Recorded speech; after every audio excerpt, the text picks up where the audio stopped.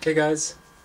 Okay, so um, this video I just wanted to um, I wanted to touch.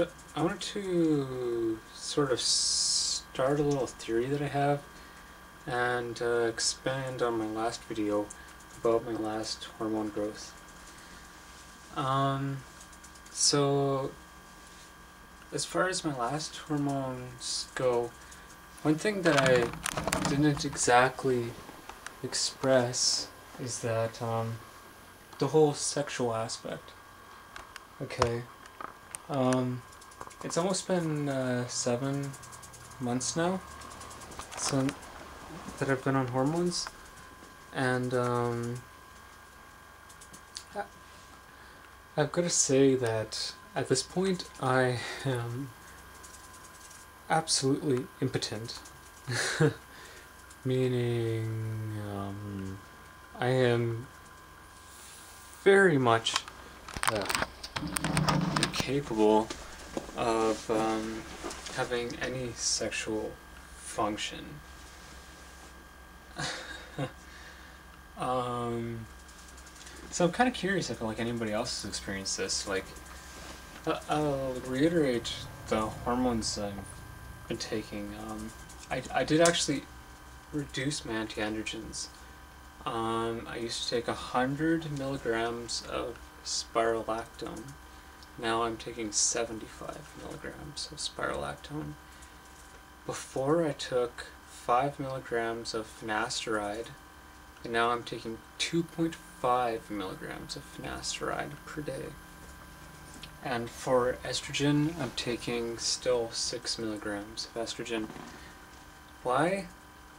Well, I don't want to look like shit. Um, yeah. And, um, more estrogen, the more breast growth you're gonna have, and yada yada yada.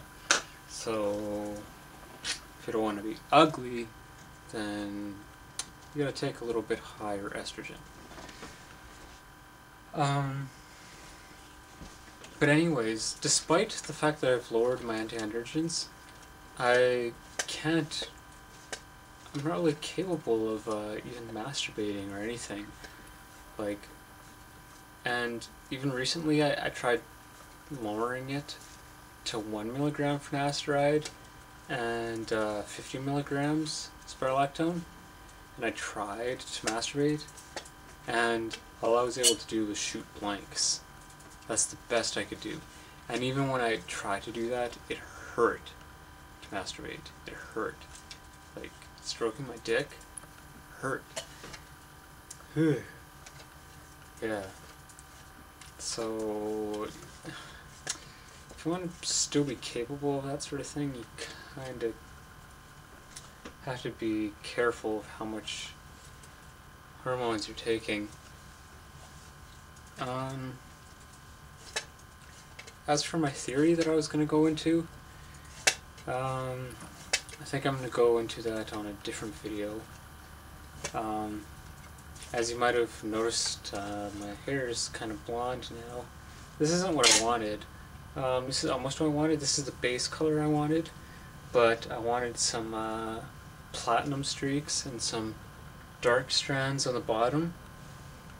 Um, but that's apparently pretty complicated. And I'll be getting that done in a month or whatever. But regardless, uh, blonde, I'm a lot happier with blonde than with the dark color. It was pretty expensive, but um, let's see. Yeah, pretty expensive. But um, yeah, that's about it. Uh, theory that I was going to go into, I'll do in another video, because this has already been too long already. So, um, yeah, uh, see you guys.